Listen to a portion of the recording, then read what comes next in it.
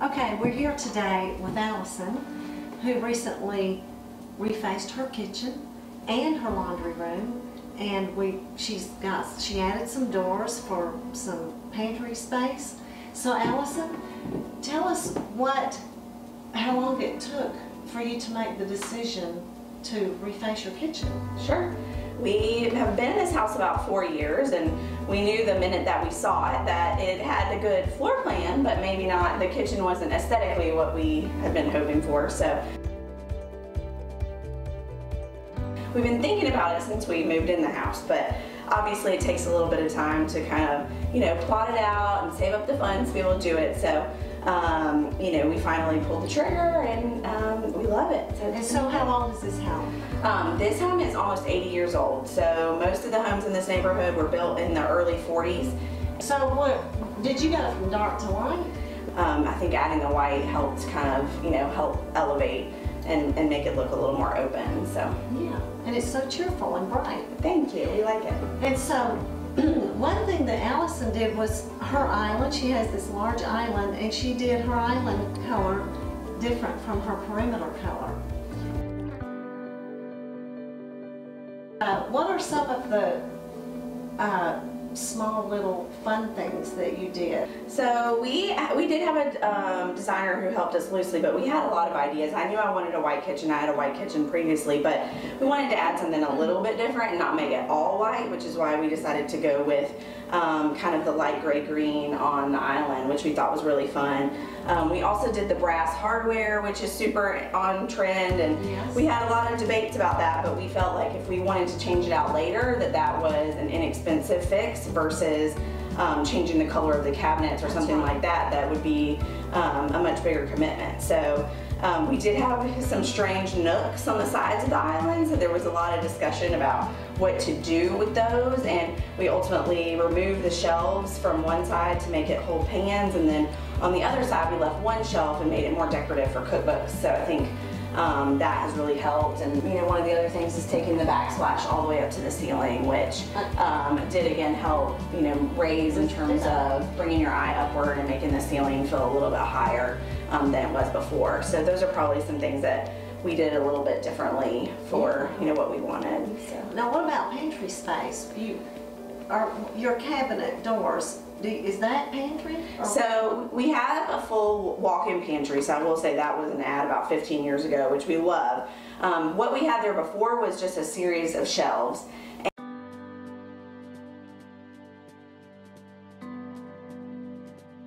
The big problem was it was where we kept all of our vitamins and our medicines, and it just always looked messy. Um, the same thing down here on the end, we had bookcases and, my husband is an avid reader, so we have a lot of books, but I wanted somewhere that I could store my kids' water bottles and lunch boxes and things that they are now, you know, big enough that they can open the doors and get And get out all the themselves. Yes, and they use it all the time. So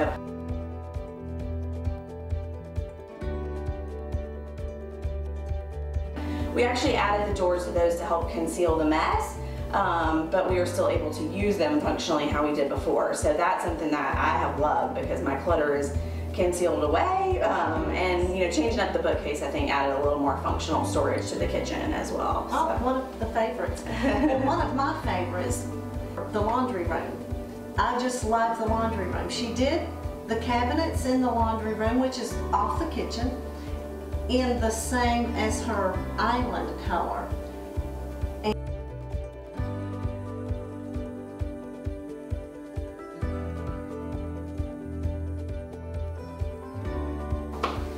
So the ship lamp is in the laundry room and it looks so great. Yeah, and then we added the built-in bar as well. Previously, our laundry room was, um, I always wanted to close the doors because it always looked a mess when we had a party, and then it was always open when we have a party because moms and dads are going in there to get things for their kids. So we decided we should make it look a lot nicer so it wouldn't be such an eyesore when we had company over. So we added the second sink for um, to make it function a lot more like a mudroom. You know, we're getting to where our kids have dirty soccer cleats and Yeah. things like that that we didn't want to wash in our kitchen sink.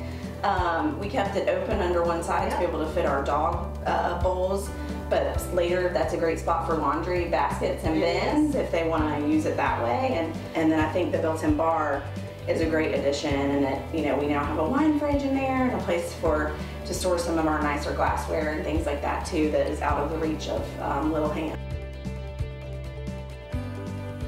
And so Allison here is, uh, has your baby due Yes, June 1st, four, four weeks, from today, yes.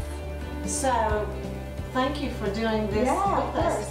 What would you recommend to anyone that is looking at doing the same thing that you did with refacing? Yeah, um, you know, it was a great process. You know, the Roberts team was really responsive every time we had a question.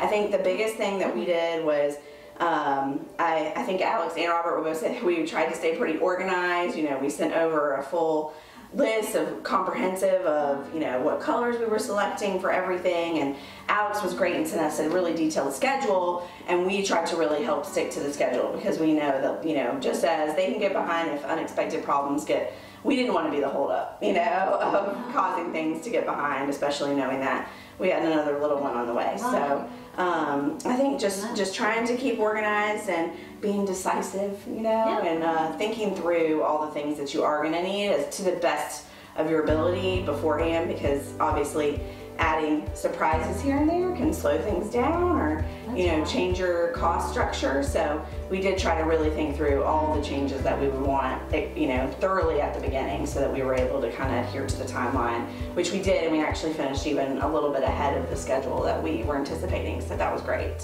Super. yeah So thank you so much. Thank you. talking with us, Allison. thank you